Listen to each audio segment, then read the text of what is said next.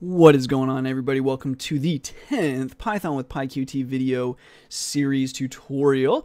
In this video what we're going to be talking about is adding a drop down menu, but also, or a drop down button rather, and also changing the style of our window. So that's actually what our drop down will be. It'll be about the style of the window and users will be able to choose different styles for their window. So let's go ahead and just jump right in. So we're going to add this style, this button. We'll do it to home. We could put it in the init. This one, it would make a little sense maybe to put it in the init. But since this is a button, like if you were going to have something that changed the style, you'd probably have it in the main menu. But I want to show you a drop down menu or a drop down button. I keep calling it menu. If I was showing you drop down menu, we'd put it in the main menu. I want to show you drop down button, so I'm going to put it in home because that makes the most sense. But really, if you were going to change style, you'd put it in the main menu and you'd have it up here. But it's a tutorial. I'm trying to teach a drop down button. Shoot, killing two birds, one stone. So coming down here, we're just going to add some more stuff. And we're going to say self.style choice. Uh, style choice equals qt GUI dot q label. Now we haven't actually even shown labels yet, but here you go. And uh, first we'll start with just Windows. And actually I believe mine will be Windows, I'm on Windows 7, but I think the default is actually Windows Vista. Uh, you can put whatever you want in here. It does not really matter. You, I'll show you actually how you can find out what you're using. Uh, so we'll pass self. So to find out exactly what the default style is, what you can do is you can just we'll just print it out. Print um, self dot style empty parms dot object name camel case that object name and that'll tell you the style you're currently using. I'm almost positive mine actually uses Windows Vista even though you're on I'm on Windows 7. Now, now that we've done that, we're going to create what's called uh, the Q combo box. But the combo box means a drop down button. so anyway, combo box equals qt GUI.q combo box self.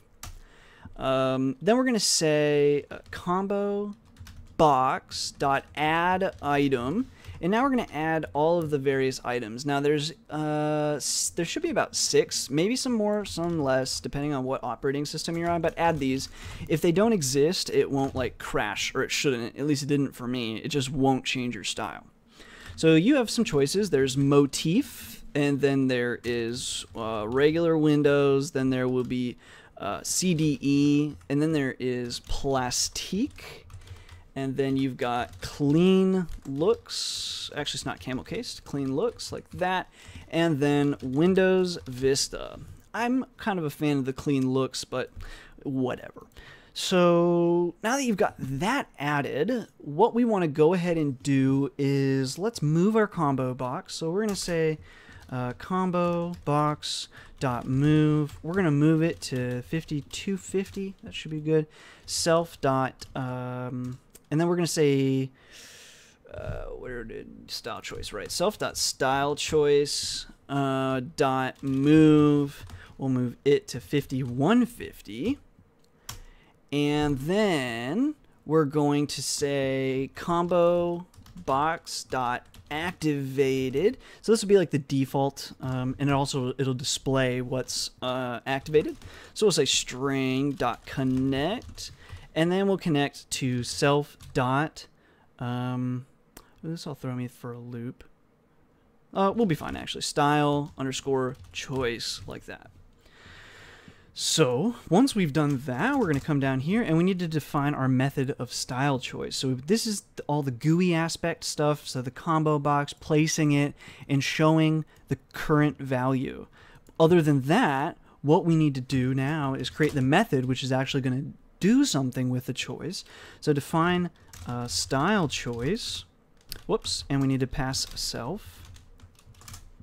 Then what do we want to do? Well, we're going to say uh, self dot style choice dot uh, set text uh, to text so let me go back up here. Right. So this will set our text. So self.style choice is just the label that is saying what it is. And then the button should also say it as well. But we're just going to show labels really quick too.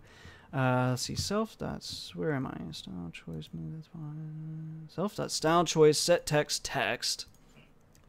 And then we're going to say qt GUI dot q application dot set style. And we're going to set the style to qt GUI dot qs style factory factory dot create text. Okay.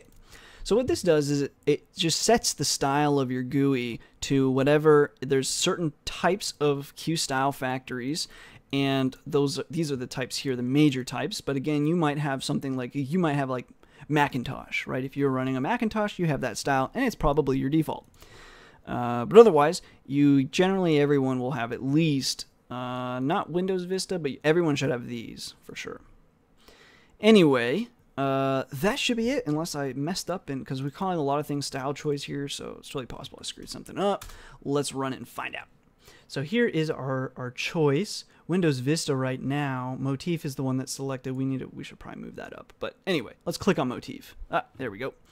Uh, text. So, okay, so obviously, um, let's go. So, uh, text. Let's close this. Self, style choice, obviously needs the text parameter. Try one more time. There we go. Okay, so you can see here when I clicked Windows that changed. We can do the download and you can see that's a little different. You can check the boxes here. You can see that's a little different. And even like moving this thing around, you can see that things are just, it's just acting quite a bit different. You got Windows, CDEs, like an old school kind of look. Uh, very basic. And then you've got things like Plastique. Plastique's pretty cool. I like that. Plastique might be the one I was thinking of actually that I prefer. Um, and then clean looks. Yeah, I like clean looks too. They're kind of close, I suppose.